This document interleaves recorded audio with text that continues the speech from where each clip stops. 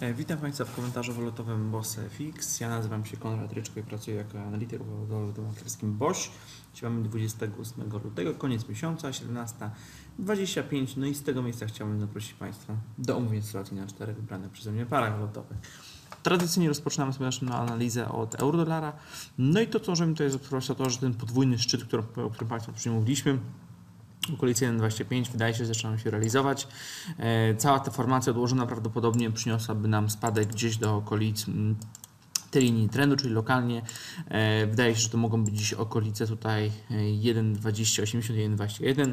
E, Umocnienie dolara fundamentalnie wspierane, wspierane e, wystąpieniem nowego szefa Fed.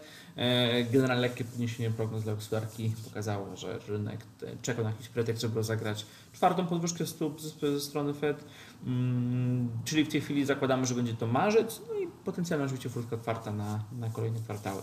Także story za dolarem jak najbardziej, tym bardziej, że wokół euro gdzieś tam w tle wybory we Włoszech, tak, którym jakieś tam em, wiążą się ryzyka, w konsekwencji e, dobry, no jeszcze gratis te, te formacje, o których Państwu wcześniej mówiłem, CFTC, tak, rekordowa liczba pozycji długich na euro, no to zwyczajowo, zwyczajowo kończy się squeezem.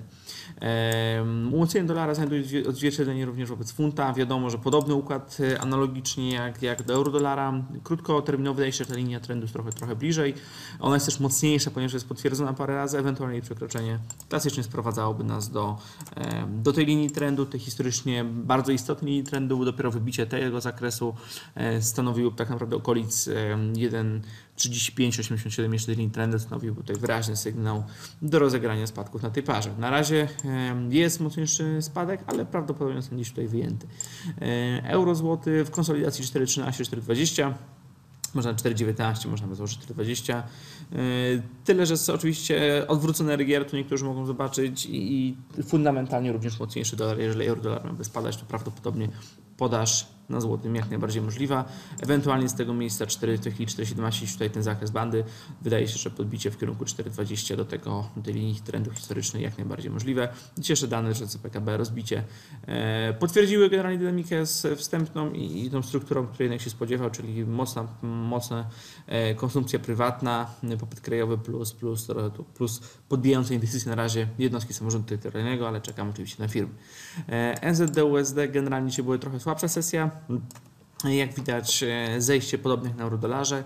E, Tutaj dodatkowo jeszcze te trochę słabsze dane z Chin. E, No i tu jest ciekawy układ w, przyszłym układzie, w układzie W1 powiedzmy, bo widać to, co Państwu mówiłem, że wszystko powyżej 0,7350 wydaje mi się, że może być tutaj szerzone przez rynek. No jeszcze ten ruch się nie wykonał. Oczywiście to mogą, mogą być jakieś false breakouty, ale generalnie wygląda tak, że będziemy zmierzali w kierunku środka tej szerokiej konsolidacji.